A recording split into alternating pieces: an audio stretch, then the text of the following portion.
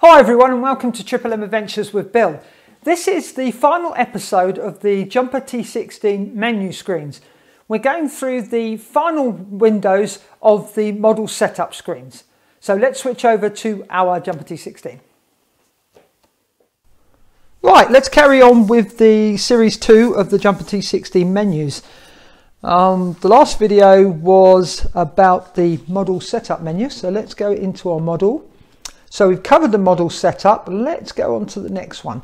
Now that is flight modes. I've got a video of this, it will be in the, in the links below, so you can go and watch that video. But in this screen, we can set up flight modes, which will be displayed on your Jumper T16 screen. Very useful for making sure your quadcopter is not armed. You would, uh, for example, be able to show armed, disarmed, acro, angle, horizon and turtle mode. There are obviously lots of modes that could be put in there for gliders and quadcopters. Right, let's just have a look at the flight mode screen. So we can see the flight mode number and then in the second window you can put a description of the flight mode and on the first flight mode, there is no available switch. That's the default flight mode. So in my case on this one, it's going to be armed. And then if we go down to F1, uh, flight mode 1, you can see it's disabled and that's connected to my switch. And you can see whichever switch I activate, it will tell you on the screen which one is in what position. So if we go to Okay, that's. Let's go to uh, turtle mode. And turtle mode is off. Okay, right. The next screen we're going to come to, let's push our page button, is the inputs. This is where we can set up inputting rules for each stick. That would be our expos or our rates and the safe throttle. Here you'll see the basic force uh, inputs you'll have on there when you first start up a new model is the throttle, aileron, elevator and rudder.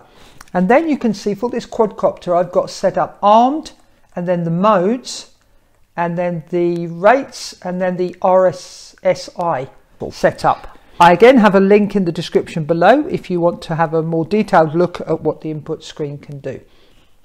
Right, you can see here the settings that I've set up. As I say, there is a video for you to be able to look at where I'll go into this with more detail, but you can see you've got like the armed, the weight, the which switch, and then it tells you which switch is armed or not armed. You can see that it's disarmed and armed. Okay, dokie, right. Let's go on to mixes. Now I'll push the page button.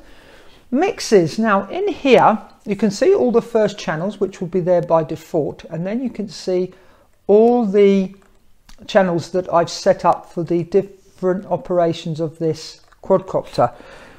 So the mixes, this is where actions on your controls are mapped to the servos. For example, we could use this for elevon or VTOL mixing.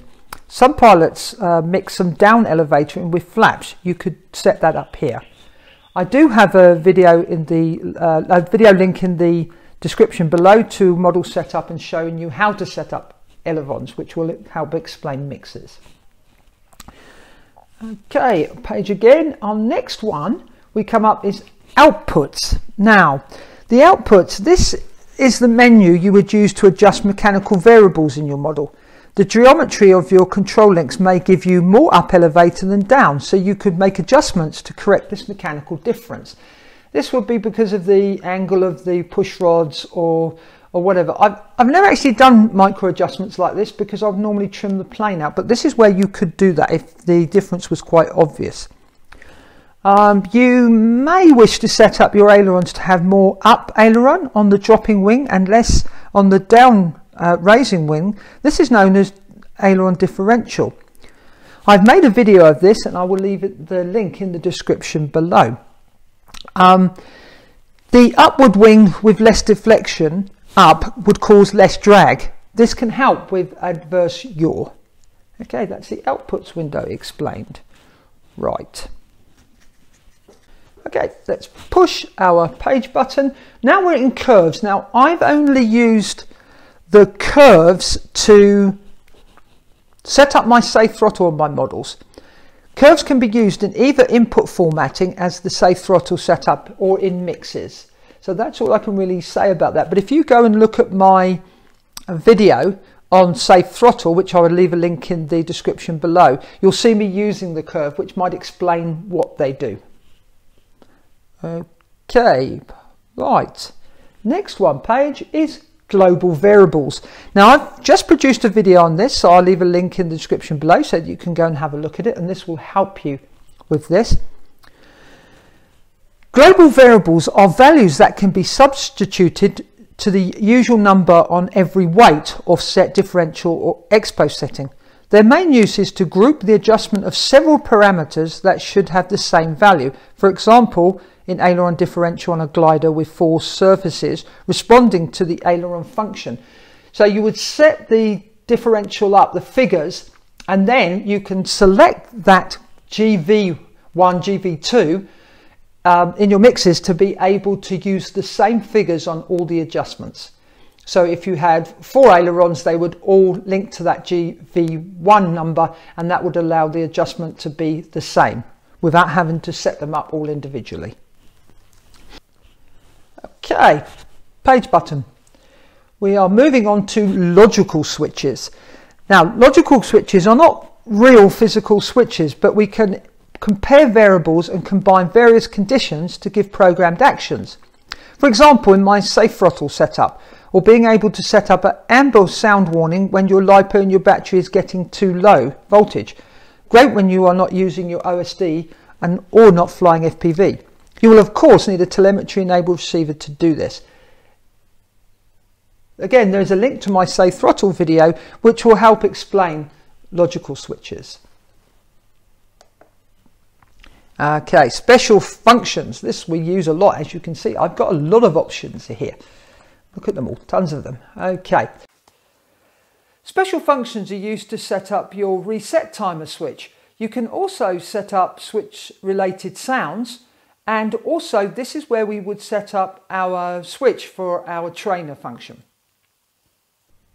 I have a link in the description below to the custom sounds video which uh, shows you how to make custom sounds for your Jumper T16.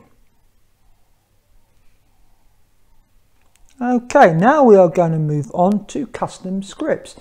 So we hit the page button and this is custom Lua scripts.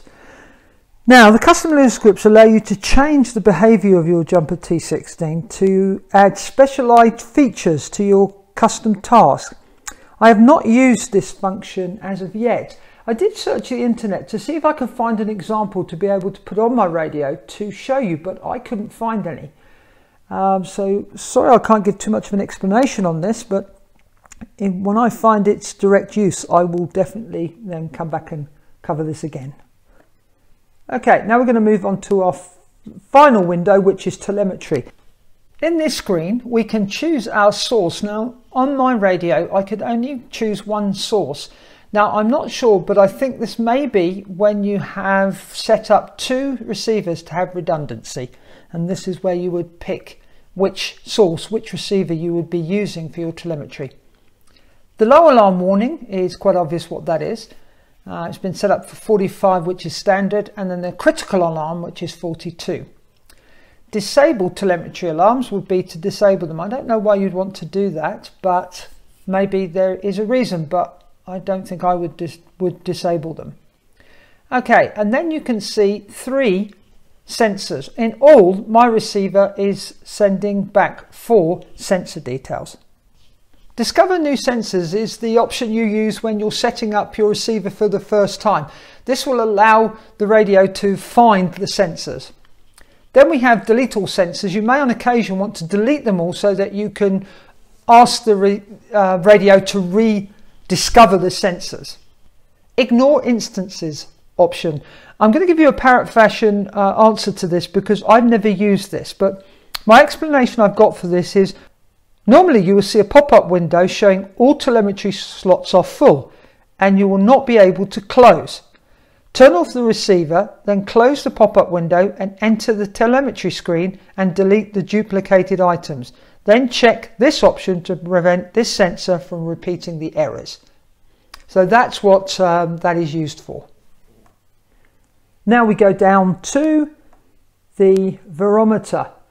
Now this is where you would sort, set up the source for your varometer um, telemetry. This is, far as I understand, this will allow you to show your artificial horizon on your Jumper T16 screen. Now, I'm not going to go into this in too much detail because I haven't actually set this up, but that's what you would do there. And these are the adjustments you make for that varometer. And that completes this final episode of the Jumper T16 model screens.